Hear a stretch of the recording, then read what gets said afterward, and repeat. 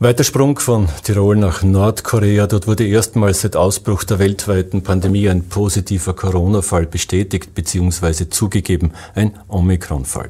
Diktator Kim Jong-un hat daraufhin das gemacht, was sein Regime ohne dies recht gut kann, nämlich das Land und die Städte abgeriegelt. Susanne Nevakler hat am Vormittag den Nordkorea-Experten Bernhard Seliger in Seoul telefonisch erreicht. Zum ersten Mal hat Nordkorea heute öffentlich zugegeben, dass es einen Omikron-Fall im Land gibt. Bereits vor zwei Tagen habe sich ein Lockdown in Nordkoreas Hauptstadt Pyongyang abgezeichnet, berichtet der Leiter der Hans-Seidel-Stiftung in Südkorea, Bernhard Seliger. Die Leute in Pyongyang mussten alle ähm, in ihre Häuser zurückgehen, ihre Arbeitsplätze verlassen. Die Tatsache, dass Nordkorea den Covid-Ausbruch erstmals öffentlich macht, spricht für den Ernst der Lage, sagt Nordkorea-Experte Bernhard Seliger. Auf jeden Fall. Es ist ein Ausbruch, der so ernst ist, dass man denkt, man kann das jetzt nicht durch einfache Maßnahmen lösen. Laut Bernhard Seliger könnte die Öffentlichmachung des Notstandes auch ein Hinweis darauf sein, dass Nordkorea Interesse an Hilfe aus dem Ausland hat. Bislang hat Nordkorea ja alle Angebote über Impfstofflieferungen aus dem Ausland abgelehnt.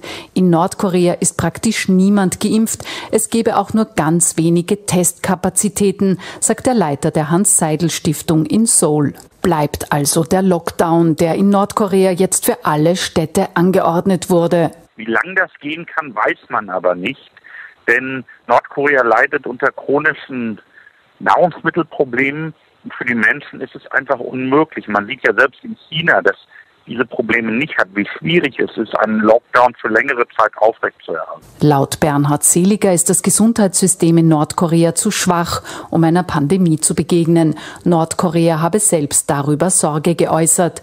Die anhaltende Lebensmittelknappheit und die daraus resultierende Unterernährung hat die Bevölkerung in Nordkorea geschwächt. Einerseits ist die nordkoreanische Bevölkerung relativ jung.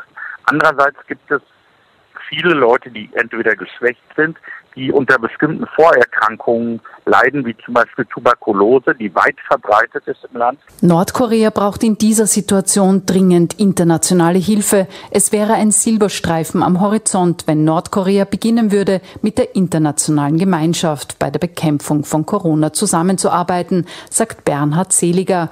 Ob Nordkorea das zulassen wird, bleibt aber vorerst noch ungewiss.